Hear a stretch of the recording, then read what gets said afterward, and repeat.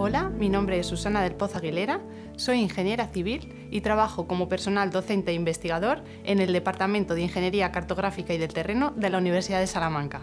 Mi labor investigadora la desarrollo en el grupo de investigación TIDOP que se sitúa en la Escuela Politécnica Superior de Ávila.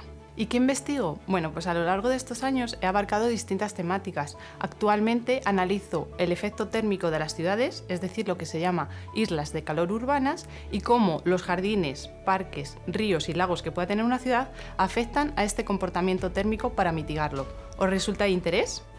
Me apasiona descubrir el porqué de las cosas y resolver problemas que aún no tienen solución. Creo que el anhelo de tener una sociedad mejor y un mundo mejor es lo que me ha llevado a dedicarme a esta profesión.